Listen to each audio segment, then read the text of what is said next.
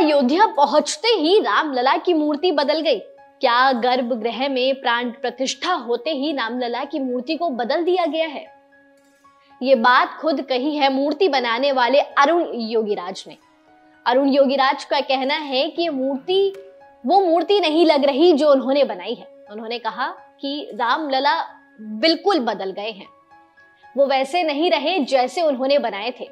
और ये बात कहते कहते एक इंटरव्यू के दौरान अरुण योगीराज काफ़ी भावुक या कहें काफ़ी इमोशनल भी नज़र आए। दरअसल देखिए, अगर आप तस्वीरों में खुद इन दोनों फ़ोटोज़ को देखेंगे, प्राण प्रतिष्ठा से पहले वाली और प्राण प्रतिष्ठा के बाद वाली तो थोड़ा बहुत अंतर आप लोगों को भी दिखाई देगा। हर तरफ़ इसी बात की चर्चा है कि ये मूर्ति, वो मूर्ति क्यों नहीं लग रही जो अरुण योगीराज ने बनाई है? लोग इसे चमत्कार भी कह रहे हैं।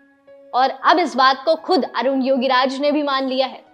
अरुण योगीराज का कहना है कि जब राम लला की प्राण प्रतिष्ठा खत्म हो गई तो उन्होंने आराम से बैठकर राम लला को देखा और उन्होंने महसूस किया कि ये वो राम लला नहीं है जो उन्होंने बनाए थे। राम लला काफ़ी बदल गए हैं।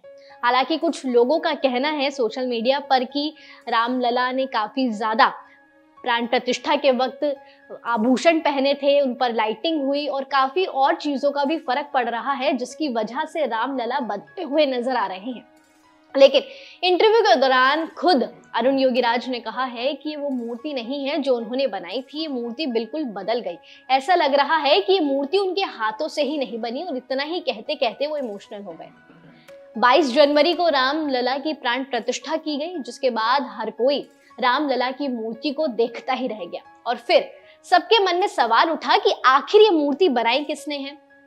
तो फिर नाम सामने आता है अरुण योगीराज का कि ये मूर्ति अरुण योगीराज ने बनाई है। और अब अरुण योगीराज खुद कह रहे हैं कि ये वो मूर्ति नहीं लग रही जो उन्होंने अपने हाथों से बनाई है। और साथ ही साथ इस बात को कहते हुए काफ़ी इमोशनल भी नज़र आए। दरअसल बुधवार को वो मैसूर अपने घर पहुँचे और मैसूर में उनका काफ़ी भव्य स्वागत भी किया गया। हर तरफ़ चर्चा केवल एक ही इंसान की है, वो है अरुण योगीराज।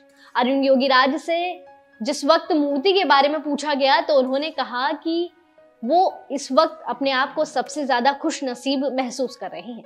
उन्हें ऐसा लग रहा है कि वो फ़िलहाल एक सपनों की दुनिया में है, जहाँ पर हर कुछ बहुत भावुक उन्हें फील हो रहा है। ये सारी बातें उन्होंने एक अपने इंटरव्यू में कही। उन्होंने कहा कि उन्हें नहीं लग रहा कि ये काम उन्होंने खुद किया है। उन्हें ऐसा लग रहा है कि ये काम भगवान ने उनसे करवाया है। तो ये तो बात रही खबरों की कि खबरों में क्या चल रहा है कि मूर्ति बदल गई। आपका क्या मानना है कि क्या? आपको भी लगता है कि रामलला की मूर्ति बदली बदली प्राण प्रतिष्ठा के बाद दिखाई दे रही है? अगर आपको भी ऐसा लगता है तो हमें कमेंट सेक्शन में ज़रूर बताएँ और इसी तरह जुड़े रहिए न्यूज़ बुक के साथ।